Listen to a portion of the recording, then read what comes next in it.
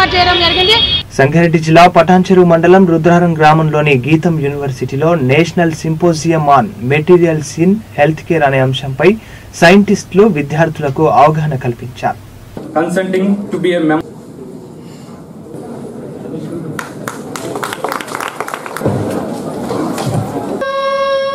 In the sense, I continue to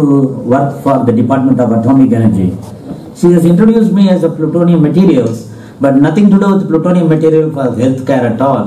So I'll be, as a director of radiochemistry in the isotopes, as radioisotopes as a radiation sources for diagnostic and therapeutic applications. I was involved, I think RMC, Savita is here.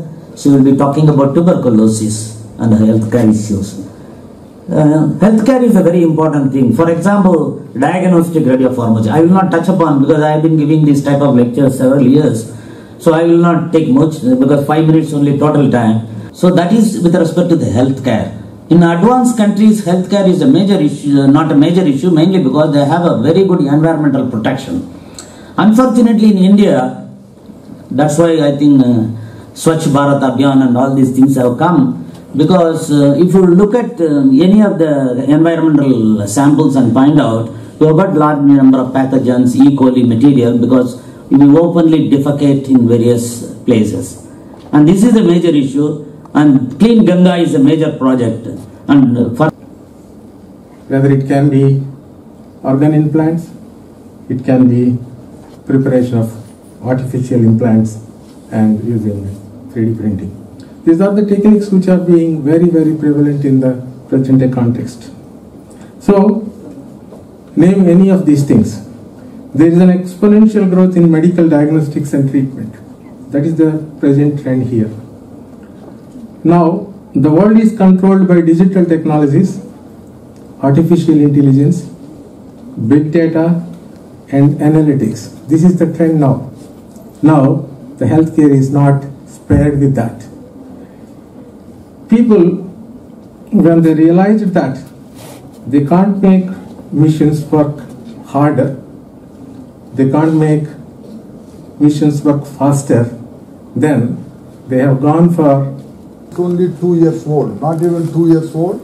We had a program exclusively for the Dr. Reddy's Laboratories BSc Chemistry two years back, but the regular program started only last year. This is only the second batch, that means it is about one year old. And the science department has taken the initiative to conduct such an important event on the campus. I wholeheartedly congratulate my colleagues and also the Society for uh, Material Chemistry to support this event.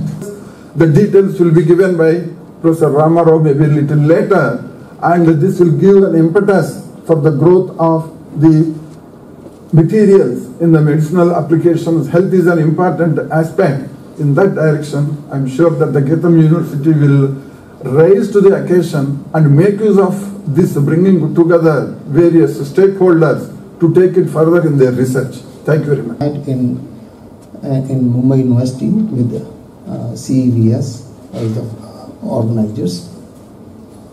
Beside this, we also organize special events. Like last year, we had uh, symposium on selenium chemistry, and because to commemorate 200 years bicentenary year of selenium discovery by Berzelius, the symposium was organized and it was well attended. Of course, that was also convened by Dr. Indra and uh, it has really, uh, and things have been published in international journal.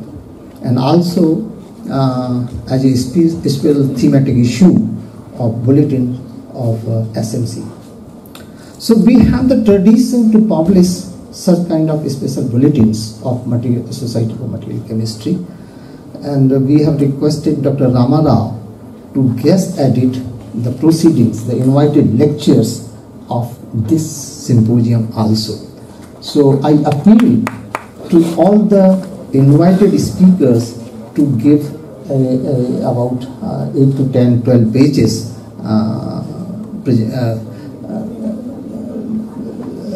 presentation uh, so that it can be published in a thematic issue uh, of of material chemistry.